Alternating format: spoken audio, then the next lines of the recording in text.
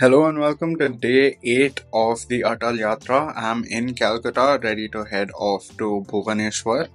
It is 5:20 in the morning. You can see it is still quite dark out.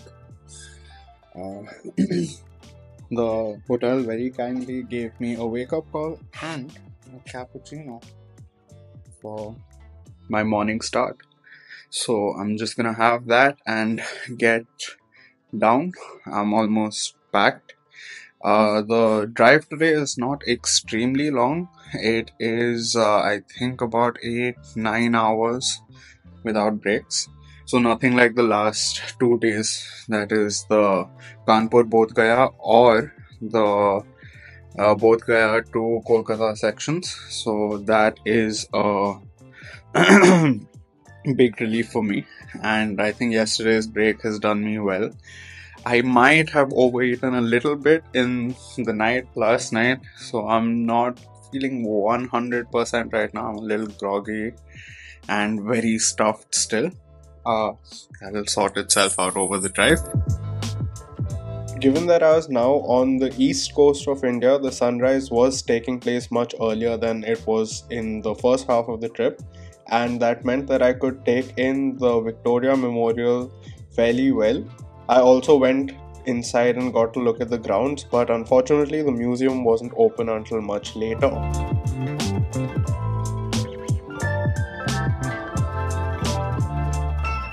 From here, I started heading out of Calcutta and took the new Vidyasagar Setu bridge out, which was also quite a nice experience.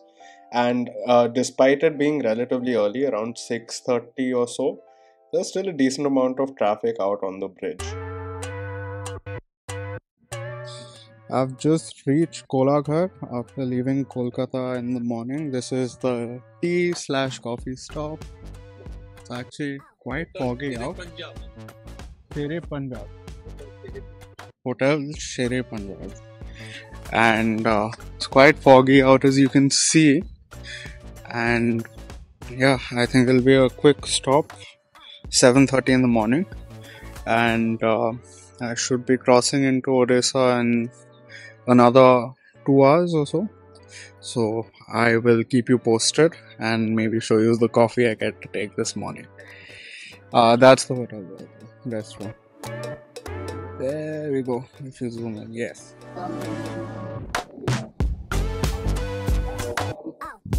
There's quite a clean washroom out here at this morning halt.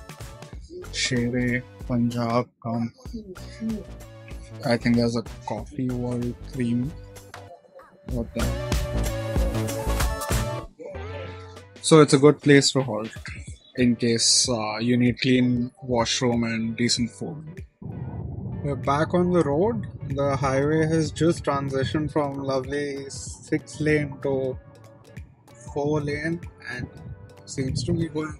Yeah, it's still four lane, but uh, the road's been pretty good since the breakfast come tea halt, and uh, yeah, uh, making decent time heading to Balasore. Uh, showing about 125 odd kilometers, a little over two hours. And uh, I've been listening to this really nice podcast my sister introduced me to called White Wall. So that you can see there, it's really going with this uh, foggy morning, cool weather kind of vibe. So I've been enjoying it quite a bit. Next update should be around Balasore, so I'll see you guys in about two hours and uh, let you know how the roads have been then. Look at this road. It seems to be uh, quite wide and laid out sort of like uh, they do temporary runways up in the north. So, yeah, quite cool.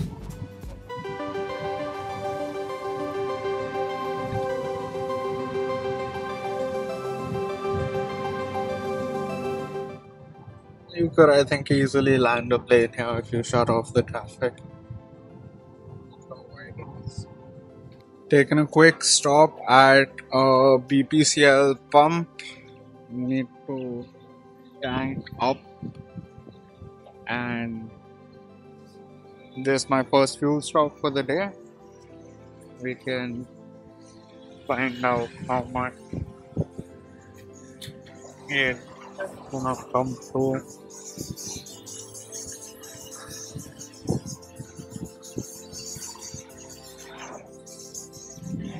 I still have about little, uh, just under half tank. So I just wanted to get the fuel stop done so that I can uh, do a longer stint, maybe all the way up to uh, Bhubaneswar. I think I'll come to like 3000 more, 2 3000 rupees. I'm about 120 odd kilometers away from uh, the Bhubaneswar stop, night halt, and uh, the roads have just become much wider, back to six lanes, and uh, no big rest stops, but there are some small, small restaurants around, and uh, there are also like plenty of fuel stations along the way. Um, the ones that I stopped at only one of them, so it was uh, the previous clip. Uh, that was just before the road widened up, and uh, restrooms are as you'd expect.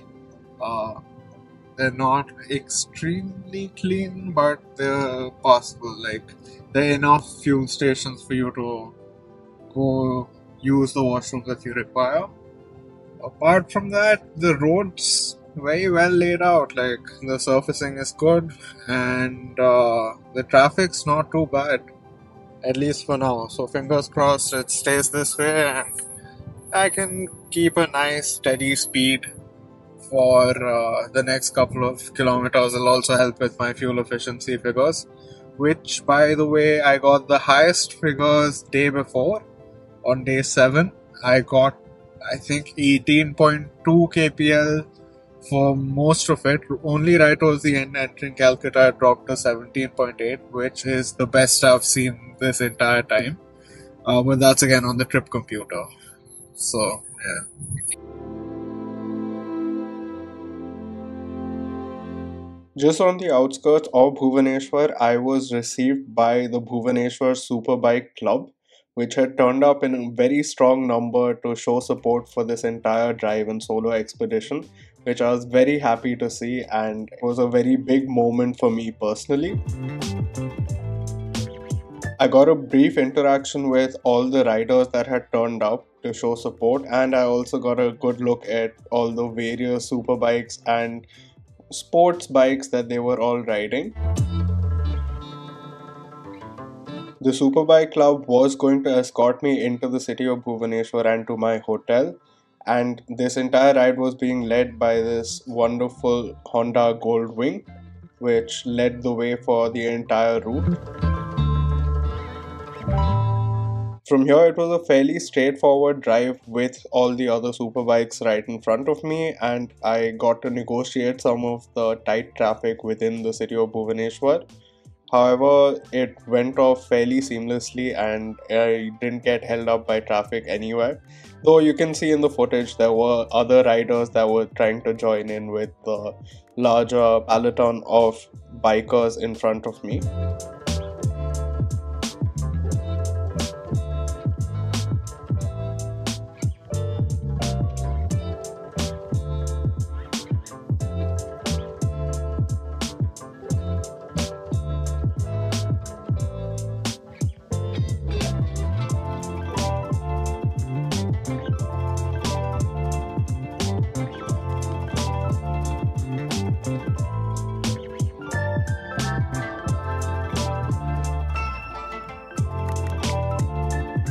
As I pulled into the hotel for the night, which was the Mayfair Lagoon in Bhubaneswar, I was greeted by my mom and my dad who had flown down to meet me at just after the halfway mark here. And uh, this really lifted my spirits. Also, close family friends of ours joined, and uh, I was definitely in a very good mood from here on. I, from this point, also ended up uh, interacting more with the bikers that had turned up. We also grabbed a few quick photos with the car. And uh, then we actually headed off into the conference room here where uh, there was some media there to greet me because uh, the event had gotten some traction and uh, they wanted to cover